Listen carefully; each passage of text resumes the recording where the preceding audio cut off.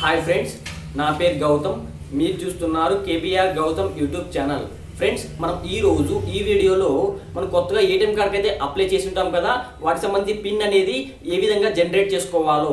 నిన్న రోజు ఒక వీడియో చేయడం జరిగింది. ఒకవేళ మీరు ఏటీఎం కార్డ్కి పిన్ నెంబర్ మర్చిపోయినా ఏ విధంగా జనరేట్ చేసుకోవాలో నిన్న వీడియో చెప్పడం జరిగింది. ఈ రోజు ఈ వీడియోలో మీకు ఒక ఎస్ఎంఎస్ రూపంలో పిన్ నెంబర్ వచ్చి ఉంటుంది. సో మీకు ఆ పిన్ నెంబర్ నచ్చి ఉండదు. మీకు నచ్చిన పిన్ నెంబర్ని ఏ విధంగా క్రియేట్ చేసుకోవాలో ఇప్పుడు ఈ వీడియో చెప్పడం జరుగుతుంది. టాపిక్ లెక్క అయితే వెళ్ళిపోదాం. ముందుగా మీ దగ్గరలో ఉన్న ఏటీఎం సెంటర్కి అయితే వెళ్ళండి.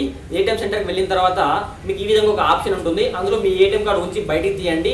బయటికి తీయగానే మనకు బ్యాంకింగ్ అనే ఈ విధంగా కొన్ని ఆప్షన్స్ వస్తాయి. అందులో బ్యాంకింగ్ అనే ఆప్షన్ సెలెక్ట్ చేసుకోండి. బ్యాంకింగ్ అనే ఆప్షన్ సెలెక్ట్ చేసుకోగానే మనకి ఈ విధంగా కొన్ని లాంగ్వేజ్ వస్తాయి.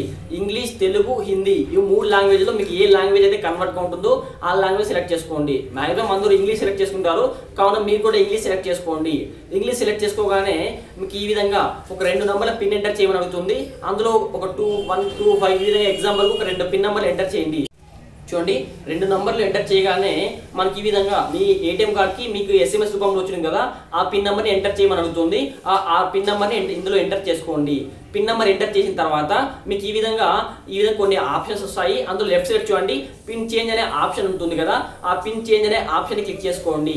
పిన్ చేంజ్ అనే ఆప్షన్ క్లిక్ చేయగానే అక్కడ మీకు కొత్తగా పిన్ నెంబర్ ఏదైతే క్రియేట్ చేయాలనుకున్నారో ఆ పిన్ నెంబర్ ఎంటర్ చేసుకోండి. ఎగ్జాంపుల్గా వన్ టూ త్రీ ఫోర్ ఈ విధంగా పిన్ నెంబర్ ఎంటర్ చేసిన తర్వాత మళ్ళీ ఇంకోసారి పిన్ నెంబర్ ఎంటర్ చేయమని అడుగుతుంది. అక్కడ కూడా మళ్ళీ ఇంకోసారి మీరు అదే పిన్ నెంబర్నే వన్ టూ త్రీ ఫోర్ని ఎంటర్ చేసుకోండి. ఈ పిన్ నెంబర్ని ఎంటర్ చేసుకున్నాక మీకు సక్సెస్ఫుల్ యువర్ పిన్ అనేది సక్సెస్ఫుల్గా చేంజ్ అయిపోయిందని చెప్పి మీకు ఒక మెసేజ్ రూపంలో రావడం జరుగుతుంది. మీ పిన్ నెంబర్ ఈ విధంగా చేంజ్ అయిపోతుంది.